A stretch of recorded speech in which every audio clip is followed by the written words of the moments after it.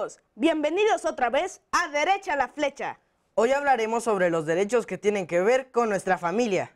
Así es, y también sobre el artículo que nos protege contra el maltrato infantil. Artículo 19. El Estado debe protegernos contra toda forma de maltrato, abusos y explotaciones de tipo físico, mental o sexual, ya sea que provengan de nuestro papá, mamá o cualquier persona. Hola, soy Antonio y soy niño difusor de Yautepec. Todos los niños y niñas tenemos derechos y hay personas e instituciones que se encargan de que sean respetados. Hoy voy a entrevistar a la licenciada Rocío Álvarez. Acompáñenme. ¿Cuál es su cargo aquí? Claro que sí, soy secretaria ejecutiva de protección para niños, niñas y adolescentes. Pertenezco a la Secretaría de Gobierno y trabajamos en conjunto con el DIF estatal y las demás instituciones. ¿Cómo se protegen nuestros derechos en esta institución? Fíjate que todos y cada uno de los derechos que ustedes tienen eh, están contemplados en la Ley General de los Derechos de los Niños, Niñas y Adolescentes. Sí sabes de esa ley, ¿verdad? Bueno, eh, esta nueva ley se creó para la protección de ustedes, es decir, que todos los niños tengan derecho a una familia, por eso los niños se dan en adopción, para que crezcan en un ambiente familiar, que todos los niños tengan derecho a una identidad, en el momento que nacen tengan su registro y también derecho a la salud, a la educación. Así es como se protegen. Es un, es un equipo multidisciplinario que, que está en conjunto a favor de ustedes. Los niños, las niñas y los adolescentes, ¿cómo podemos hacer que sean respetados nuestros derechos? Eh, primeramente, sabiendo cuáles son esos derechos.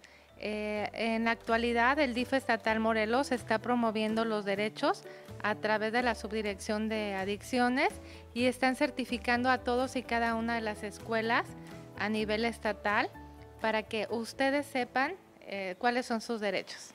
En la actualidad ya hay penas severas en contra de los padres o tutores que los violentan. Cualquier tipo de derecho que, que estén violentando los padres eh, van a ser, van a ser este, procesados.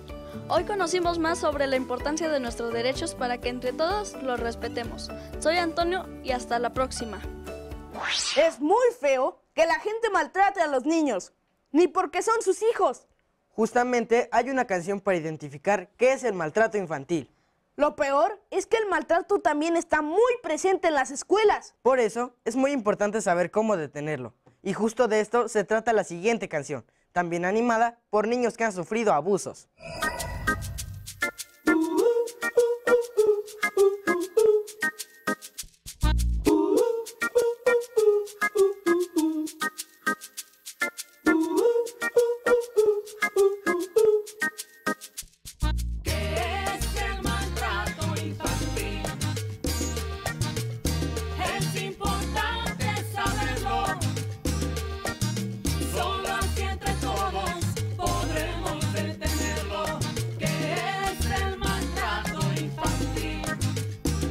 insulta.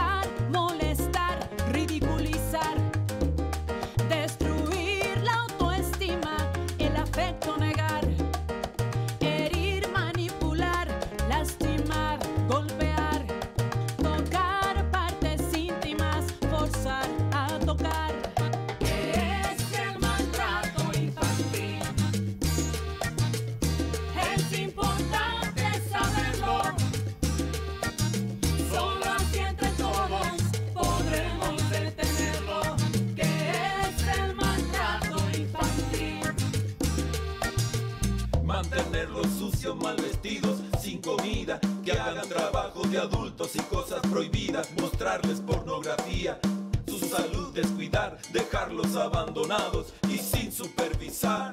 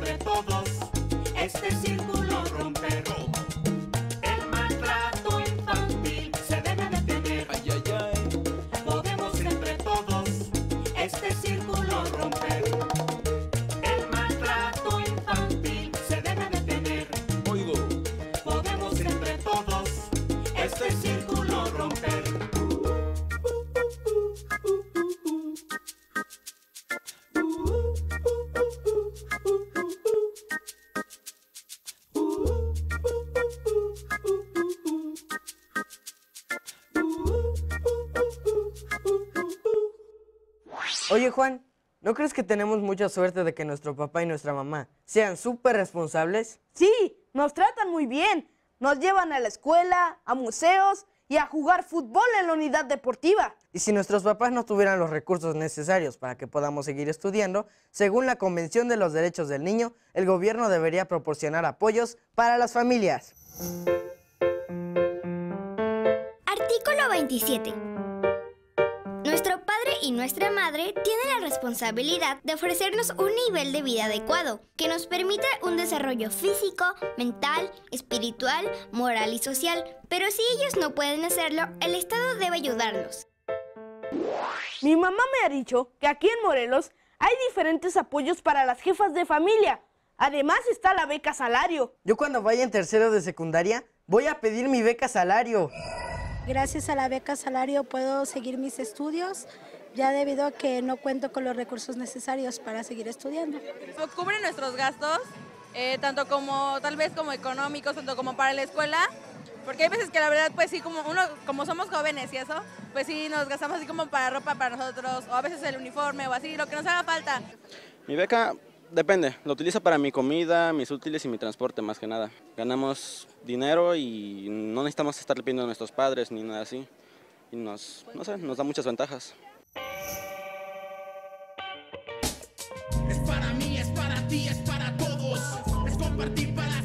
Este apoyo a todos los jóvenes que se encuentran estudiando en cualquier sistema público, escolar de mi estado. Beca salario combate la falta de oportunidad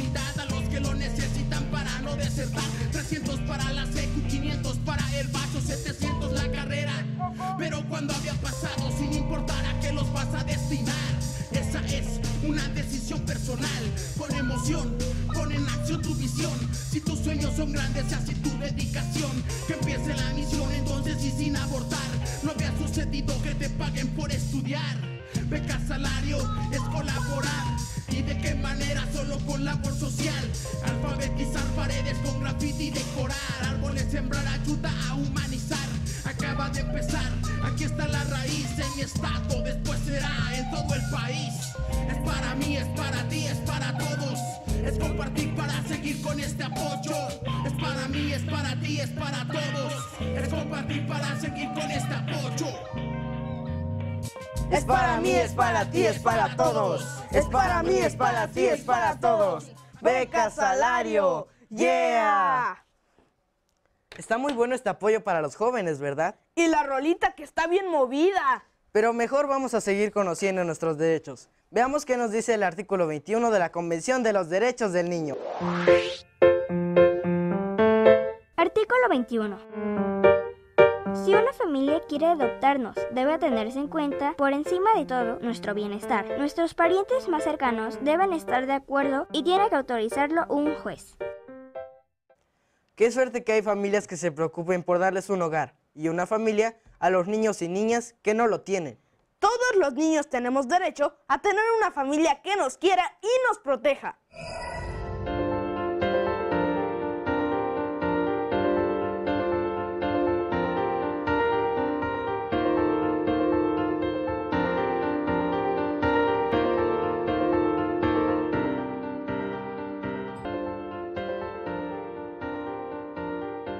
Salimos de la casa, a veces nos vamos al cine y nos vamos a Cuernavaca y, no, y me compran helado. Cuando no tengo clases, me vamos con mi papá a su trabajo y llevamos cosas. Si no compramos, compramos y, nos, y llevamos al parque. A veces vamos a la cancha de acá, al triángulo, porque si se fijan es como un triángulo. Yo juego mejor con mi papá. Jugamos a veces, jugamos basquetbol, fútbol, voleibol. Me siento contento y alegre y feliz. ¿Sabes, Pablo? Yo te querría igual si fueras adoptado. Pero ¿cómo voy a ser adoptado si somos igualitos? Ahora vamos a dar un recorrido por el parque Barranca de Chapultepec. En nuestra sección Explorando Ando. Explorando Ando.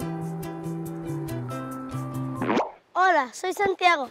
Hoy vamos a conocer un lugar muy especial llamado Parque Barranca Chapultepec, ubicado cerca del centro de Cuernavaca.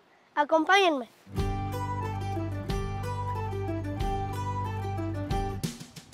El Parque Barranca Chapultepec es un espacio en el cual podemos divertirnos mientras convivimos con la naturaleza.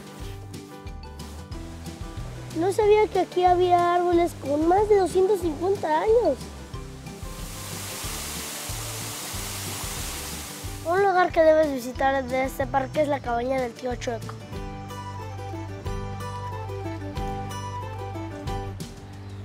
Mi tío tenía una vaca que se llamaba Mecho. Esta cabaña hace muchos años sufrió un hechizo. Si quieres conocer lo que ocurre dentro de ella, tienes que visitarla.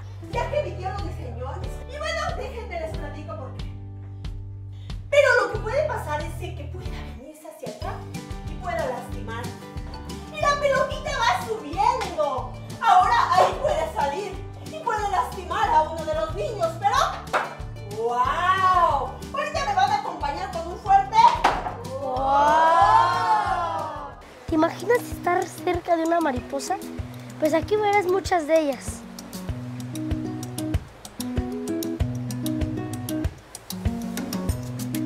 En este mariposario hay cuatro especies de mariposas, como la reina, mariposa de ojos verdes, cebrita y la monarca.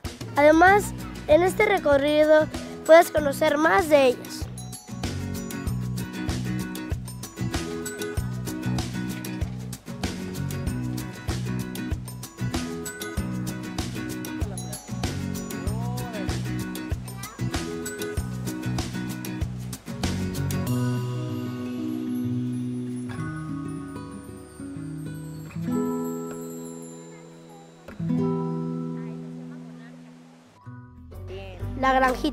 Aquí puedes alimentar a los conejos, gallinas, chivitos, como si estuvieras en una granja.